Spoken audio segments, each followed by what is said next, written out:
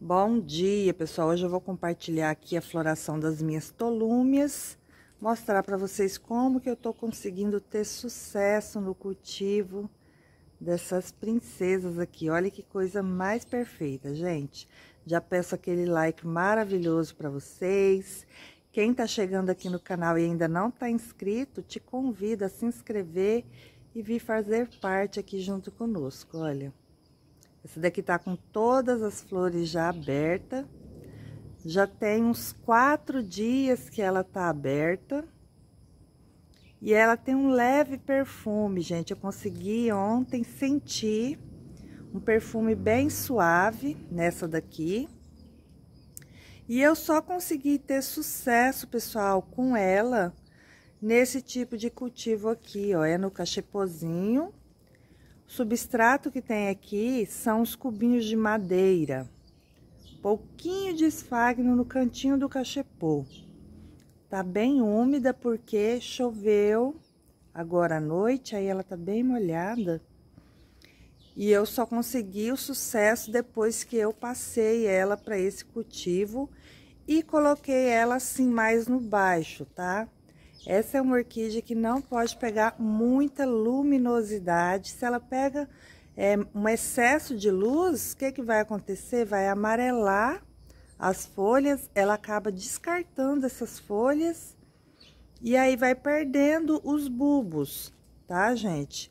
Então, é bem importante que você deixe ela em um local que ela recebe, sim, a luz, mas que não seja nada tão é, exagerado, ela fica aqui, ó, abaixo dos outros vasos, ó.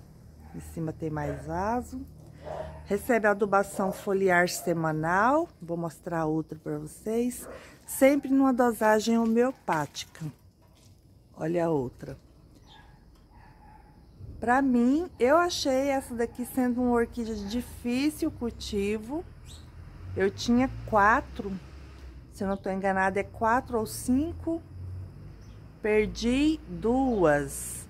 E tem uma ali que eu coloquei ontem dentro de um cachepozinho para ver se ela recupera. Essa daqui a flor já é diferente, ó. Ainda tem botões para abrir. Mesmo cultivo, ali para vocês verem. Cachepozinho de sanção do campo e uns pedacinhos de sanção do campo aqui como substrato. E deu muito certo, tá, gente?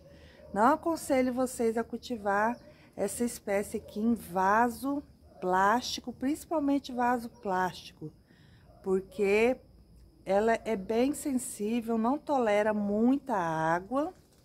Se ficar é, por muito tempo úmida, vai apodrecer essas raizinhas. Ela tem a raiz bem fininha Aí, o melhor cultivo é assim mesmo, no cachepozinho bem vazado ou no tronquinho. O tronquinho também dá certo, tá, gente?